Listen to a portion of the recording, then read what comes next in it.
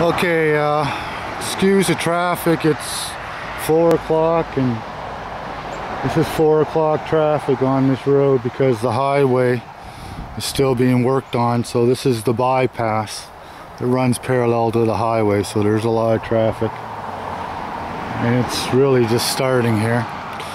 But uh, this is the uh, Princess Auto uh, backhoe, uh, towable backhoe. Now, my first impressions of this is very good. I bought this secondhand and uh, I'll admit this thing here is quite quite a workhorse. Um, you know, I'm not very good at uh, running backhoes or heavy equipment. You know, I'm I'm an industrial electrician. I I run lots of lifts and stuff, JLGs and all those, and I have no problem running those. And I'll have no problem running this, but. Uh, just have to get used to the controls, no big deal. There's only two joysticks anyway. So it uh, has a coil, coiler, K-O-H-L-E-R. Not really quite sure how you pronounce it, that uh, name in the motor. But it's a nine, nine and a half horsepower, 277 cc's. Actually, I thought it was a little bigger than that. I thought uh, I thought they came with uh, 305, so that must be uh, a 10 horsepower. But I have no problem with it because uh, you, put that on high speed and uh, it has no problem at all running two functions at a time. You, you can be using two functions at a time, no problem, and it's fast. It, it I've seen the uh, Home Depot ones, and this thing here is much faster. Like when I go, I've got to, uh, I got to, my ditch is all filling in, so I have to redo the ditch. Now, I'll do a video, and it won't be, uh, won't be time lapsed. It'll be just me digging a ditch. And you'd be surprised how fast this thing will actually move. As fast as you can move it, it'll move.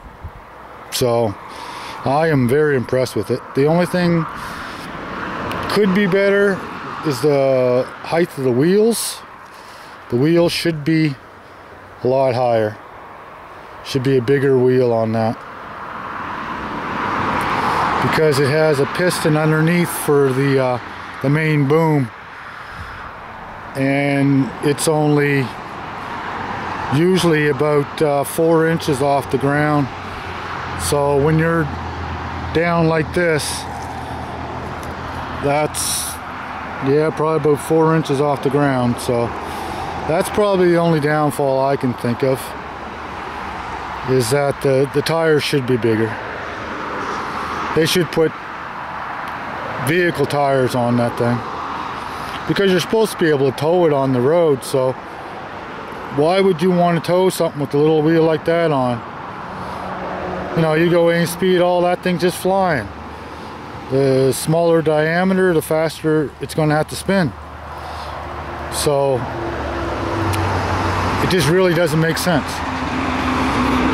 But uh, all in all I've run it here probably off and on for about three hours and you know it's it's just digging the place up.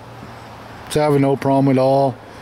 Well of course these aren't very big roots or anything like that but it's having no problem at all doing what I want to do.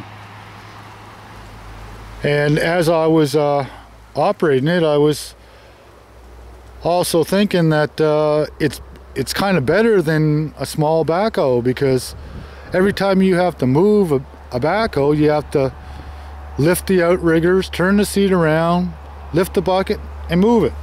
then you got to put the bucket down, turn the seat around, drop the outriggers, and then start digging again. Well, this thing here, you want to back up, you just put down the bucket and lift it up and back it up. You want to move to the side, just move to the side. You know, I was I was moving this way, digging this way, then I just move it over and I was digging that way. I I didn't have to back up or anything. Well, actually, I moved it forward just to park it, but uh, I was just moving it back and forth. I just move it over this way, dig over here, move it over here, dig there. I, I you can move it around. It's only on two wheels. So yeah, you have no problem at all lifting the front of her and uh, moving it around. And it's got lots of power to move it, so it's not a problem there. But one of the key things that one of the guys said that uh, that has one of these things, the first thing you want to do is remove the trailer hitch. First thing. You don't want it easy for somebody to steal this. So the first thing you want to do is remove the trailer hitch on it. So I don't want to make this long. First impressions, very good. Very happy with it. Cheers.